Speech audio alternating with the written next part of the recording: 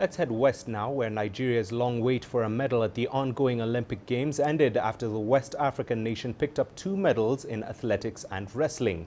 A bronze medal in athletics is Nigeria's first at the Olympic Games in 13 years, but sports enthusiasts are not satisfied with the outing. Here is CGTN's Kelechi Emekalam with the details. Tokyo 2020 marks Nigeria's 17th appearance at the Olympic Games. The nation featured in about 10 sports, including athletics, combat, and team sports. Expectations were high as the Nigerian contingent went into the Games, but as the competition nears its end, sports enthusiasts are left disappointed with the subpar performances recorded so far. It's not been a very cheering one. It's been very disturbing. We've had more embarrassing moments than would have loved to have more medal moments that Nigerians will celebrate and our national anthem will be sung in Tokyo, but we rather have had more embarrassing and shameful moments in Tokyo. I didn't see us as a nation really prepared for this year because the flaws were just too much. Expected so much from athletics. Um, going back to the national trials this year, there were a lot of new records that came back home for us. Since making its Olympic debut in 1952, Nigeria only boasts of three gold medals. Well, so far, the West African nation has two medals from Tokyo 2020, a bronze and a silver from the women's long jump and wrestling, respectively.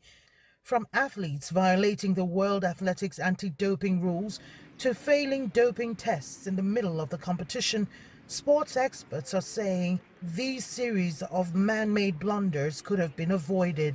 That is also an administrative failure on those who manage our sports, whether the Nigeria Olympic Committee, the Nigerian Sports Ministry, the Federation, Athletics Federation of Nigeria, that runs uh, uh, this sport is a failure on their side because an administrative thing.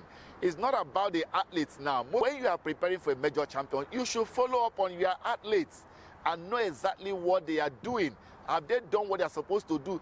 These rules by WADA, they are out there on their website, so it should be at your fingertips. Athletes, on their own, they try to prove themselves to show people that this is what we can do if we have resources, all blame on the ministry. Because they did not do well for the athletes. Throughout this year, we just have three competitions only for an athlete preparing for the Olympics. The progress of Nigerian sports has been hampered by a barrage of technical issues. Funding is a recurring decimal. Poor preparation is a recurring decimal. Fire brigade approach is a recurring decimal. Athletes welfare is a recurring decimal.